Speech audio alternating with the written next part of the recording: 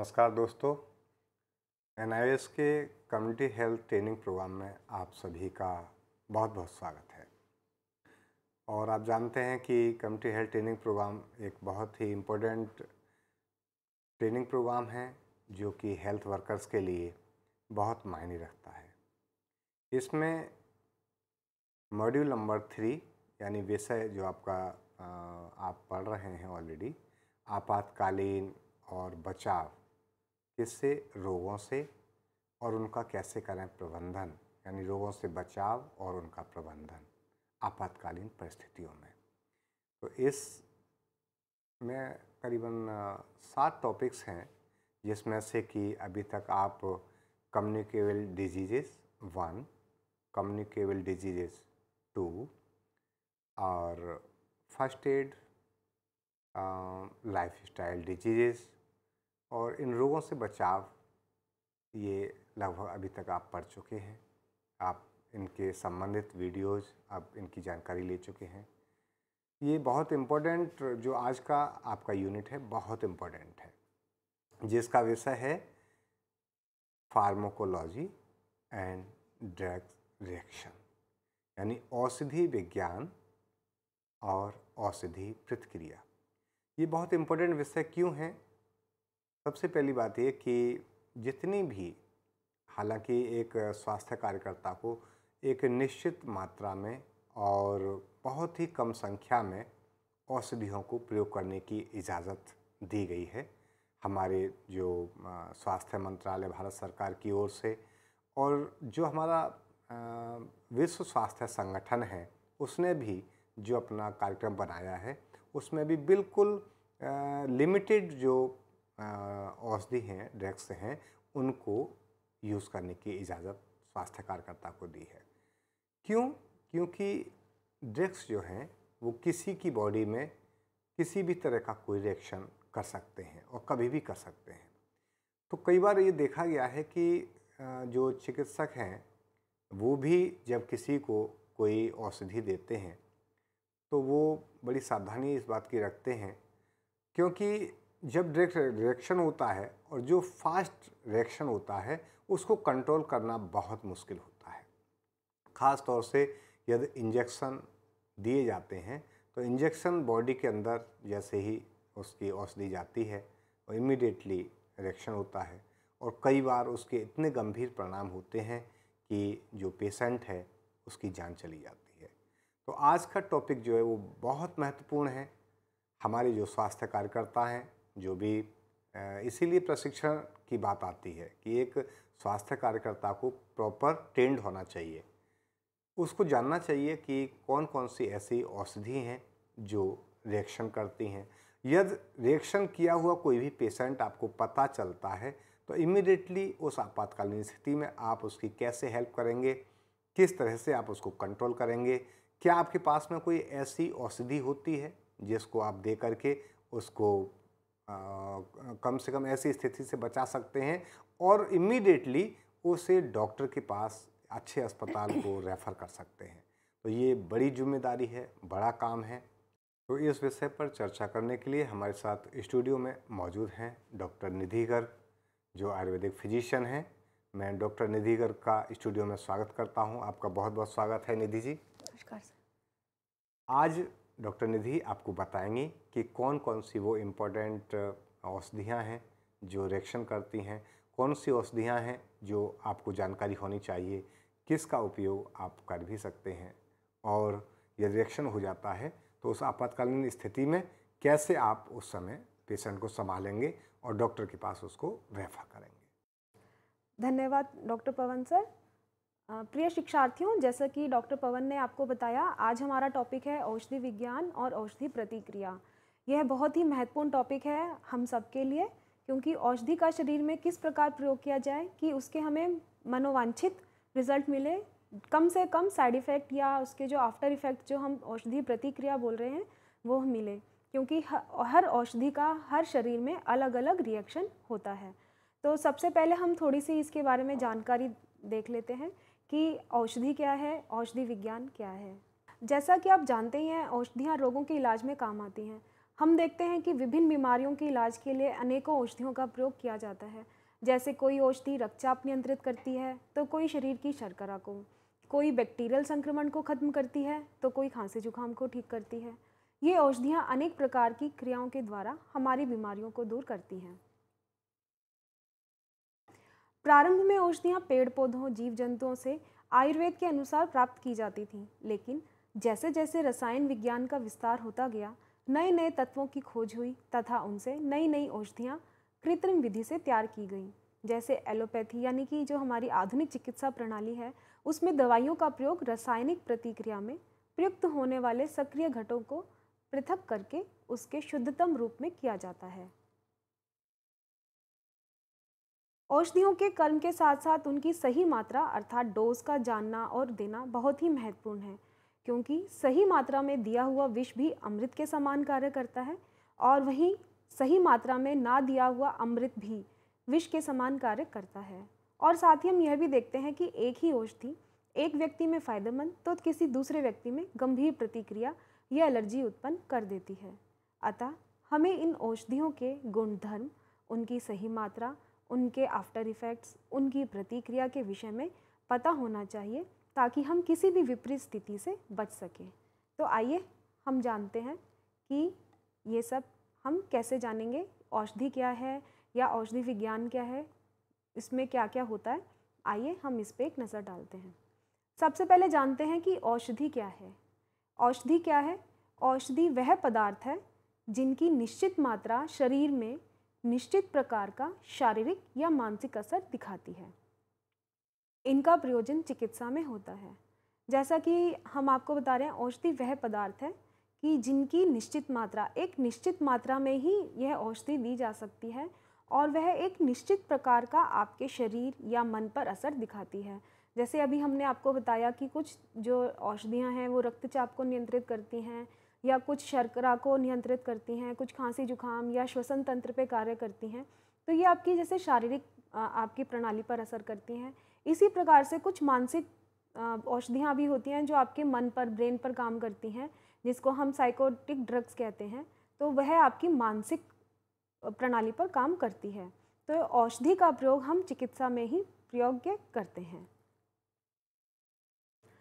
किसी भी पदार्थ को औषधि के रूप में प्रयोग करने के लिए उस पदार्थ का गुण, मात्रा अनुसार व्यवहार, शरीर पर विभिन्न मात्राओं में होने वाला प्रभाव, इन सब की जानकारी अपरिहार्य अर्थात बहुत ज़रूरी है। हम किसी भी पदार्थ को औषधि के रूप में प्रयोग कर सकते हैं, लेकिन उसका औषधि के रूप में प्रयोग करने के लिए उस पदार्थ का गुण क्या है?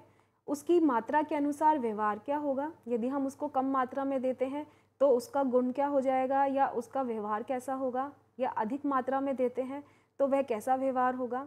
और उसका शरीर पर विभिन्न मात्राओं में होने वाला प्रभाव कि वह किस प्रकार से शरीर में किस किस तरह से प्रभाव डालेगी, इन सब का हमें जानकारी होना बहुत ज़रूरी है। तभी हम किसी पदार्थ को औषधि के रूप में प्रयोग कर सकते हैं। आइए अब जानते हैं औषधि विज्ञान क्या है। जीव विज्ञान अर्थात बायोलॉजी की वह शाखा जिसमें विभिन्न रोगों में होने वाले औषधियाँ, उनकी मात्रा और शरीर के विभिन्न भागों में उनकी प्रतिक्रिया का अध्ययन किया जाता है, औषधि विज्ञान कहलाती है। अर्थात, बायोलॉजी की वह शाखा जिसमें हम विभिन्न रोगों में जो हम औषधियाँ प्रयोग कर रहे हैं, उनकी कितनी मात्रा शरीर के विभिन्न भागों में, किसके संग में, कितनी प्रतिक्रिया करती है, इस चीज़ का अध्ययन जिस विज्ञान में किया जाता है, जिस शाखा में किया जाता है, वह औषधि विज्ञान अर्थात फार्माकोलॉजी कहलाती है। आइए अब जानते हैं औषधियों के प्रकार कितने हैं। औषधियाँ बहुत प्रकार की हैं, उनमें से कुछ हम आपको बता रहे हैं, जैसे कि एंटीबायोटिक्स, जो बैक्टीरिया के विरुद्ध प्रयुक्त होने वाली प्रतिजैविक औषधि हैं, जैसे कि penicillin, tetracycline, cephalosporins, streptomycin, gentamicin आदि।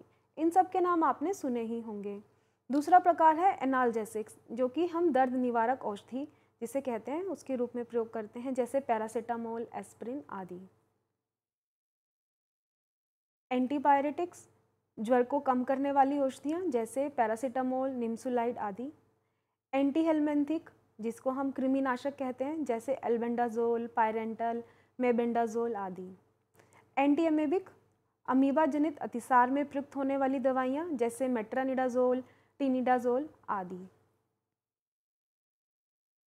एंटी एलर्जिक एलर्जी को दूर करने व उनसे बचने वाली औषधि जैसे एविल, सेट्रिजिन आदि। एंटीसेप्टिक्स शरीर में संक्रमण से बचाव के लिए जैसे डेटॉल, सेवलोन आदि। एंटीसेप्टिक जो है आपकी एंटीबायोटिक से अलग होती है तो इसलिए इनके साथ में इसको ना जोड़ा जाए। एंटीसेप्टिक है जो शरीर में संक्रमण से बचाव कर रही है आपको बाहरी जो संक्रमण है, उससे आपका जो बचाव कर रही है, वो एंटीसेप्टिक है। डिसइंफेक्टेंट जो कि हम वस्तुओं का विसंक्रमण करने के लिए, जैसे लाइजोल क्रिसोल फिनाइल आदि यूज़ करते हैं, उनको हम डिसइंफेक्टेंट कहते हैं। कुछ वैक्सीन्स होती हैं, जैसे वैक्सीन का प्रयोग हम कनफोड़ा जो मम्स हैं, छोटी माता है पोलियो इन्फ्लुएंजा आदि जैसे रोगों में हम जो इंजेक्शन के थ्रू देते हैं वैक्सीन्स इनका एंटीवायरल औषधि के रूप में प्रयोग किया जाता है। एंटी फंगल औषधियाँ, जो कि एंटी फंगल जो दद्रु हम बोलते हैं, खाद खुजली होती है, उस फंगल संक्रमण को नष्ट करती हैं, जैसे क्लोट्रिमाजोल आदि। आइए अब जानते हैं कि ये औषधियाँ किन किन रूपों में दी जाती हैं। जैसे हर औषधि का कुछ ना कुछ रूप होता है, कुछ टैबलेट में दी जाती हैं, कुछ कैप्सूल में दी जाती हैं, कुछ सिरप फॉर्म में है। तो आइए हम जानते हैं कि इन औषधियों को दिए जाने वाले रूप कौन कौन से हैं। औषधियों को दिए जाने वाले रूप टैबलेट, जैसे हम पैरासीटामोल आदि जो है, वो हमारी टैबलेट फॉर्म में है, आयरन की टैबलेट्स आती हैं, कैल्शियम की टैबलेट्स आती हैं तो ये सब टैबलेट फॉर्म में है। कैप्सूल, एम्पिसिलिन, एमोक्सीसिलिन आदि, ये जितने भी हैं आपके कैप्सूल फॉर्म में हैं। सिरप हैं कफ सिरप आते हैं, टॉनिक आते हैं, जो आपने देखे होंगे, जो बोटल्स में आते हैं, सिरप फॉर्म में होते हैं। नाक से दी जाने वाली दवाइयाँ, अर्थात इन्हेल करके जो हम देते हैं, जैसे हम दमा में, सर्दी में प्रयुक्त होने वाली जो दवाइयाँ हैं उनको हम इन्हेलेशन के थ्रू देते हैं। इंजेक्शन बहुत सी दर्द निवारक औषधियाँ ग्लूकोज एंटीबायोटिक्स विटामिन आदि जो है इंजेक्शन के फॉर्म में अर्थात आपके शरीर में सुई के माध्यम से दिए जाते हैं। तो यह भी आपका एक फॉर्म है औषधि को देने का एक रूप है, जो कि आपके शरीर में दिया जाता है। ऑइंटमेंट जैसे सोफ्रामाइसिन बीटाडिन आदि, जो कि क्रीम जैसे जिनका रहता है, सर जो स्ट्रक्चर है कि क्रीम है वह आपकी ऑइंटमेंट कहलाती है तो यह भी औषधि देने का एक तरीका है कि आप इसको टॉपिकली अर्थात स्किन पर अप्लाई करते हैं बाहर। फिर आपका एक ड्रॉप्स जो हम जैसे eye drop ear drop nasal drop जो हम बोलते हैं कि जो हम ड्रॉप्स की फॉर्म में औषधि को शरीर में देते हैं। फिर है चिपकाने वाली पट्टी, जैसे स्ट्रिप्स जैसे ग्लिसरीन स्ट्रिप आती है, इस तरह से एक ये भी एक तरीका है दवाई को देने का। सपोजिट्री, जो कि हम एनल जो रूट है आपका, उसमें लगाते हैं, पेशेंट को दवाई देते हैं। यह भी एक तरीका है। जैसे हम डल्कोलेक्स आता है, ग्लिसरीन की स्पोजिट्री आती हैं तो ये भी एक औषधि देने का रूप है, जो कि हम एनल, अर्थात जो गुदा के माध्यम से दी जाती है। पाउडर, फंगस आदि के नियंत्रण के लिए एंटी फंगल पाउडर जो आपका दिया जाता है तो पाउडर भी एक तरह से आपका औषधि देने का रूप हो गया। सस्टेन रिलीज़ इम्प्लांट अर्थात जैसे इंसुलिन है या दर्द निवारक या हार्मोनल इम्प्लांट कि आपको त्वचा के माध्यम से एक दवाई का कुछ हिस्सा आपकी स्किन में नीचे दे दिया जाता है, वो धीरे धीरे रिलीज़ होता रहता है, जिससे शरीर में दवाई पहुँचती रहती है। आइए अब जानते हैं ये जो हमने दवाइयाँ पढ़ी हैं, जो हमने औषधियाँ देखी हैं तो इनको देने का एक मात्रा होती है, एक समय होता है जिसके लिए डॉक्टर जो है एक संकेत प्रयुक्त करता है। तो स्वास्थ्य कर्मियों को जब हम देखते हैं कि डॉक्टर ने कोई पर्चा लिखा है, उसमें दवाई कितनी बार देनी है, पेशेंट को कैसे बताएँगे कि आप ये दवाई दिन में एक बार देनी है या दो बार देनी है, तीन बार देनी है? तो ये सब चीज़ें एक माध्यम, एक कोड बना रखा है कि जो संकेत बना रखे हैं, जिसके माध्यम से आप जान सकते हैं कि डॉक्टर ने एक पेशेंट को दवाई कितनी बार के लिए प्रिस्क्राइब करी है, कितनी बार देने के लिए कहा है। तो आइए देखते हैं कि दवाइयों की मात्रा और समय के लिए प्रयुक्त संकेत क्या क्या हैं। सबसे पहले है ओडी जैसे हम बोलते हैं कि जिसको हम रोज़ दिन में एक बार देंगे दवाई को, उसके लिए हम ओडी लिखेंगे। जैसे हम लिखते हैं वन ओडी या टू ओडी की एक ही बार दवाई लेनी है, दिन में एक गोली, रोज़ाना या दो गोली एक बार लेनी है। बीडी रोज़ाना दिन में दो बार। जैसे हम बोलेंगे कि एक सुबह शाम देनी है या दो सुबह शाम देनी है तो 12-12 घंटे के अंतर पर आपको ये गोली देनी होती है। टीडीएस रोज़ दिन में तीन बार, जैसे हम बोलते हैं सुबह, दोपहर, शाम, कि हमें ये दवाई तीन बार देनी है पेशेंट को आठ आठ घंटे के अंतर पर तो वह टीडीएस कहलाता है तो उसमें डॉक्टर आपका लिखेगा टीडीएस कि वन टीडीएस या टू टीडीएस तो इस तरह से ये आपका लिखा जाता है। चौथा आपका होता है क्यूडी अर्थात दिन में चार बार, कि हर छः छः घंटे पे आपको मरीज़ को दवाई देनी है कि जैसे डॉक्टर लिखे वन क्यू आई डी की एक एक दवा, एक एक गोली जो है, या सिरप के लिखे कि एक एक चम्मच, दो दो चम्मच दिन में चार बार देना है तो उसको वो क्यू डी लिखेगा। फिर हम लिखते हैं एक दवाई के लिए एच एस कि जिसको केवल रात को सोते समय पेशेंट को देनी है, उसके अलावा नहीं देनी है तो उसके लिए हम लिखा, लिखते हैं H S S O S का मतलब होता है आवश्यकता पड़ने पर। जैसे आपने कई प्रिस्क्रिप्शंस में देखा होगा डॉक्टर के कि पैरासीटामोल लिखा उन्होंने एसओएस लिख दिया या फीवर आया तो हम बोलते हैं कि अगर बुखार आए, तभी देना, अन्यथा मत देना। तो उसके लिए लिखा जाएगा एसओएस या जब हम बोलें कि दर्द पेशेंट को दर्द हो रहा है तो ही ये दवाई देना अदरवाइज़ मत देना। तो उसके लिए हम लिखेंगे एसओएस अर्थात आवश्यकता पड़ने पर जो दवाई दी जाती है, उसके लिए एसओएस लिखा जाता है। आइए, अब जानते हैं, अभी तक हमने पढ़ा कि औषधि क्या है, औषधि विज्ञान क्या है, उनके लिए प्रयुक्त संकेत क्या हैं। तो हम अब जानते हैं कि औषधि प्रतिक्रिया अर्थात ड्रग रिएक्शन किसे कहते हैं? औषधि प्रतिक्रिया। किसी औषधि के लिए जाने के कारण जब औषधि ली जाती है, औषधि के लिए जाने के कारण शरीर या मन पर पड़ने वाले प्रतिकूल प्रभाव या दुष्प्रभाव को औषधि प्रतिक्रिया कहते हैं। अर्थात जो हमने औषधि दी है किसी पेशेंट को, हमने औषधि दी है कि ये काम ठीक करेगा, लेकिन अगर वो काम ना हो करके कुछ और हमें देखने को मिल जाए प्रभाव तो हम उसको औषधीय प्रतिक्रिया कहेंगे। तो यह ज़्यादातर प्रभाव आपके प्रतिकूल ही होते हैं या दुष्प्रभाव होते हैं, इसको हम औषधि प्रतिक्रिया कहते हैं। यह किसी एक औषधि की एक मात्रा दिए जाने से, अर्थात एक बार दिए जाने से, या लंबे समय तक किसी एक औषधि को दिए जाने के कारण हो सकती है, या किन्हीं दो या तीन औषधियों के संयोग का परिणाम भी हो सकती है।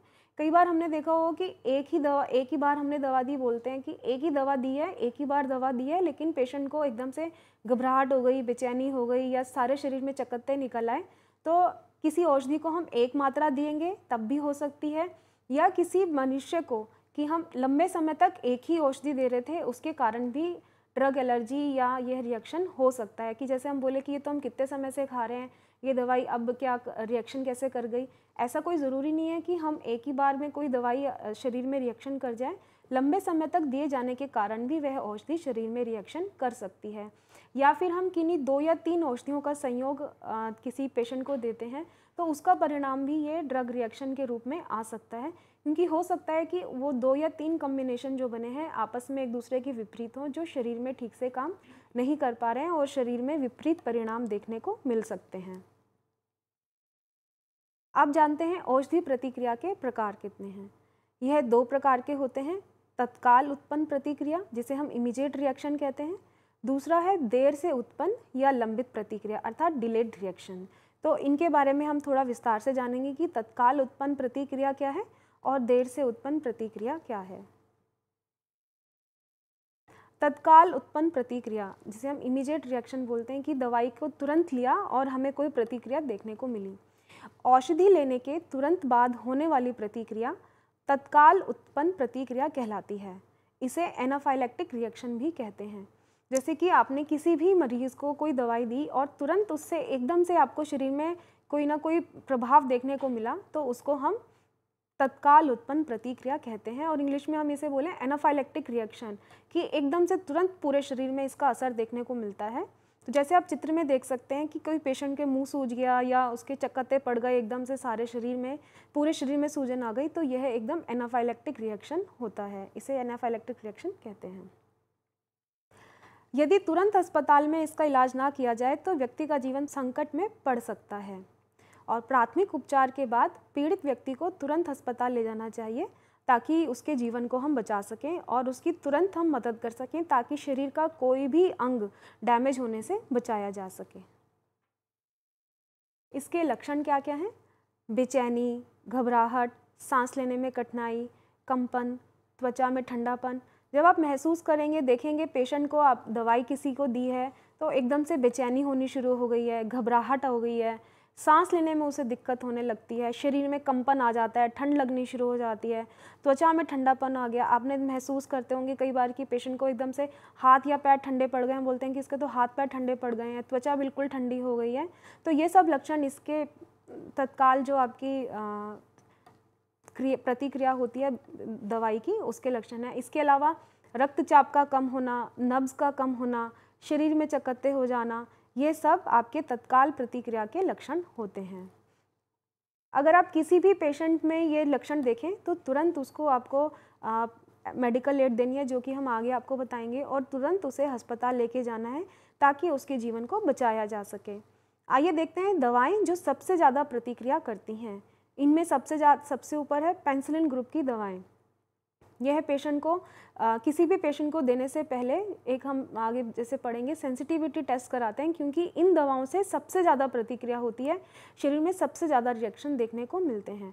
या जाइलोकिन ग्रुप की दवाएँ जो होती हैं उनसे रिएक्शन मिलते हैं। रक्त ट्रांसफ्यूजन के बाद भी आपकी जो शरीर है वो बहुत ज़्यादा प्रतिक्रिया देता है तो यह भी हमें देखना चाहिए। कुछ दर्द निवारक औषधियाँ जैसे ब्रूफेन आदि ये भी प्रतिक्रिया करती हैं। तो इनके साथ साथ आपको कुछ कंडीशंस भी देखनी होती हैं कि जैसे ब्रूफेन है, हम किसी पेशेंट को दमा है तो उसको नहीं देना चाहिए। तो ये सारी चीज़ें भी आप जानेंगे। तो उसमें आपको पता चलेगा कि ये सारी चीज़ें प्रतिक्रिया करती हैं, अगर किसी कम्बिनेशन के साथ हम इसको देते हैं। तो इन सब दवाइयों को प्रयोग करने से पहले आप सेंसिटिविटी टेस्ट अवश्य करा लें और सावधानी से इनका प्रयोग करें। आइए अब जानते हैं देर से उत्पन्न या लंबित प्रतिक्रिया के बारे में, जिसे हम डिलेड रिएक्शन कहते हैं। यह दवा देने के थोड़े समय पश्चात होने वाली प्रतिक्रिया है, जिसे हम लंबित प्रतिक्रिया कहते हैं। यह कुछ घंटों से लेकर कुछ दिनों में होने वाली प्रतिक्रिया है। बिना डॉक्टर की सलाह के कोई दवाई ना दें और दवाई देने के बाद मरीज़ में होने वाले परिवर्तनों पर नज़र रखें। जैसा कि हमने आपको बताया कि कुछ एक तो दवाई देने के तुरंत बाद आपको असर दिखाई देने लग जाता है पेशेंट के ऊपर कि कोई भी रिएक्शन उसे शुरू हो गया, जैसे बेचैनी, घबराहट हो गया तो यह तुरंत में है। लेकिन जैसा आप नाम से जान सकते हैं कि देर से उत्पन्न या लंबित प्रतिक्रिया, अर्थात देर से इसका रिएक्शन हमें देखने को मिल रहा है तो ये आपको थोड़े समय के पश्चात कि कुछ घंटों से लेकर कि ज़रूरी नहीं है कि एकदम से आपने दी पेशेंट को कि रिएक्शन हो गया कुछ घंटे भी लग सकते हैं और कुछ दिन भी हो सकते हैं इस प्रतिक्रिया को आने में। तो इसलिए इसको हम देर से उत्पन्न या लंबित प्रतिक्रिया कहते हैं। तो इसलिए स्वास्थ्य कर्मियों को सलाह ये दी जाती है कि बिना डॉक्टर की सलाह के अपने आप से कोई दवाई ना दें और दवाई देने के बाद मरीज़ में होने वाले परिवर्तनों पर वो नज़र रखें, देखें कि किसी को कोई प्रतिक्रिया तो नहीं हो रही है। इस लंबित प्रतिक्रिया को हम तीन भागों में बांटते हैं। आइए जानते हैं कि ये क्या क्या है। सबसे पहला है स्थानीय सामान्य प्रतिक्रिया, अर्थात जो लोकल रिएक्शन होते हैं, इसके अंतर्गत त्वचा पर लाल चकत्ते, खुजलाहट और नाक में सुरसुराहट महसूस होती है।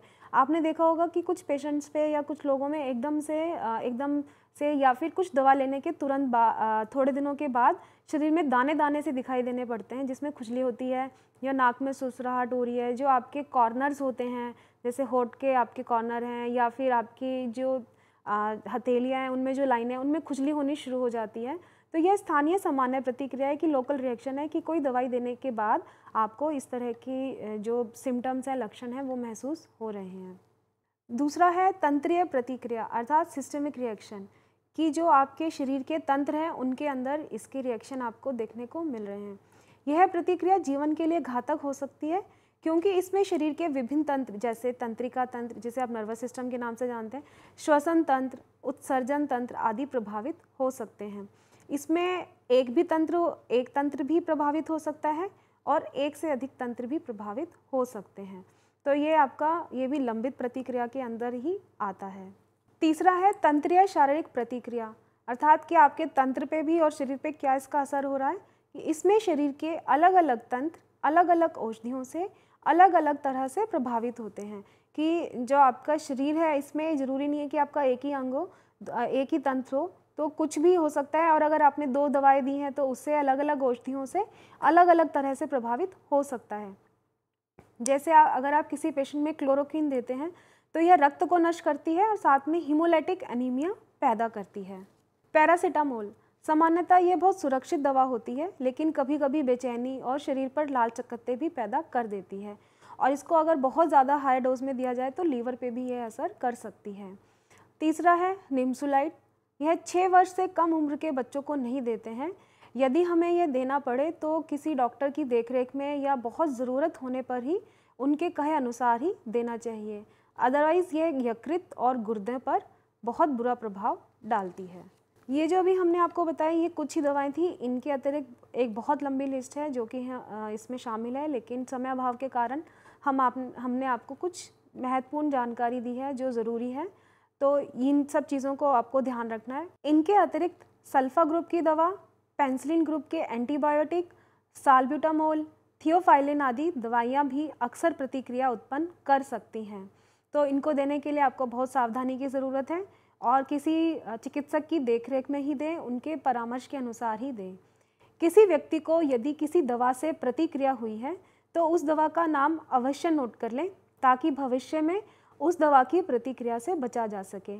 यह बहुत ज़रूरी है। अगर आपने देख लिया है कि किसी व्यक्ति को किसी दवाई से एलर्जी हुई है या उसकी वजह से उसके शरीर में कोई रिएक्शन हुआ है तो उस दवा का नाम आपको अवश्य नोट करना चाहिए और पेशेंट को भी बताना चाहिए कि वह कहीं भी दवा लेने के लिए जाए तो सबसे पहले डॉक्टर को बता दे कि उसे इस दवा से एलर्जी है, ताकि डॉक्टर वह दवा ना लिखे और वह उस जो दवाई की प्रतिक्रिया है, जो एलर्जिक रिएक्शन है, उससे वह मरीज़ जो है, वह व्यक्ति जो है वो बच सके।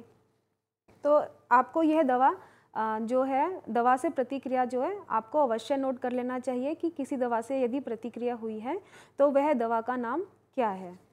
आइए अब जानते हैं एक स्वास्थ्य कार्यकर्ता की भूमिका, अगर किसी पेशेंट में किसी औषधि की प्रतिक्रिया हुई है तो। औषधि प्रतिक्रिया के समय स्वास्थ्य कार्यकर्ता की भूमिका। यदि कोई स्वास्थ्य कार्यकर्ता महसूस करता है कि किसी पेशेंट में या किसी मरीज़ में औषधि की प्रतिक्रिया हुई है और वह व्यक्ति व्यस्क है मतलब व्यस्क है तो उसे एविल की 25 ग्राम की गोली और बच्चे को 10 मिलीग्राम की गोली तत्काल खिला दें। बहुत छोटे बच्चे में दवा की मात्रा उसके वज़न के अनुसार दें, अर्थात अगर बच्चा का वज़न कम है तो कम ही दवा जाएगी। तो यह ज़रूर ध्यान दें कि बच्चा छोटा है या बड़ा है। अगर बच्चा पाँच साल से छोटा है तो उसके वज़न के अनुसार ही उसको दवा देनी चाहिए। तो व्यस्क में 25 एम की और बच्चे में 10 एम की गोली तत्काल खिला दें। अपने चिकित्सक को आपकी जो वस्तु स्थिति है, फ़ोन पर बताएँ और उनके परामर्श अनुसार कुछ अन्य दवाइयाँ दें, जो वो कहें कि क्या देना है अन्य। तो आप अपने चिकित्सक को अवश्य बताइए कि ये दवाई देने के बाद पेशेंट को क्या हुआ है। तो उनको आप फ़ोन पे सारी जानकारी दे करके जो वह बताएँ, वह अन्य दवाइयाँ दें। और ये सब करने के बाद तुरंत आपको मरीज़ को तत्काल निकटस्थ अस्पताल भेजने का प्रबंध करना है। तो ये सारी चीज़ स्वास्थ्य कार्यकर्ता को करनी है। अब ध्यान देते हैं कि स्वास्थ्य कार्यकर्ता क्या ना करें। गंभीर प्रतिक्रिया उत्पन्न करने वाली कोई भी दवा चिकित्सक के परामर्श अनुसार उतनी ही मात्रा में दें, अपने मन से नहीं।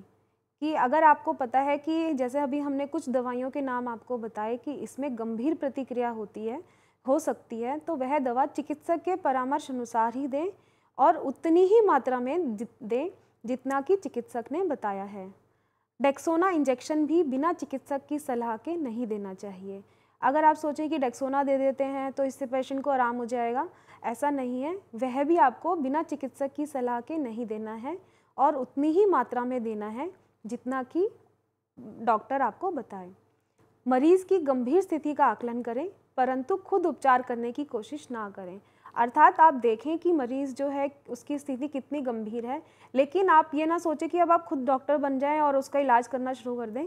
आप, जैसे हमने आपको बताया कि उसकी वस्तु स्थिति को आप डॉक्टर को फ़ोन पर बताएँ और जो वह दवाएँ दे, बताएँ आपको, वह उसी से आप उसका उपचार करें और तुरंत ही उसको सबसे समीप के अस्पताल ले जाने का प्रबंध करें। मरीज़ों को जो नस, आपके हम आर्टर वेंस में बोलते हैं इंजेक्शन देने के लिए तो डॉक्टर के कहने पर ही दें और तत्काल औषधीय प्रतिक्रिया को ध्यान में रखते हुए अस्पताल आदि ऐसी जगह पर ही दें जहाँ पर इसको, अगर किसी को प्रतिक्रिया हो जाती है तो उसका इलाज किया जा सके, ना कि किसी स्थानीय जगह पर, ताकि यदि दवा से कोई प्रतिक्रिया होती है तो उसका तुरंत उपचार किया जा सके। जैसे अगर हम इंजेक्शन वगैरह देते हैं कोई तो कोई इंजेक्शन आप अपने मन से ना दें कि ये कोई कोई बात नहीं, दर्द का इंजेक्शन है, आराम आ जाएगा, तुरंत असर आएगा, या फिर ये ताकत का है, ऐसा आप अपने मन से ना दें, किसी डॉक्टर के कहने पर ही इंजेक्शन दें, क्योंकि किसी भी दवाई से कभी भी औषधीय प्रतिक्रिया हो सकती है।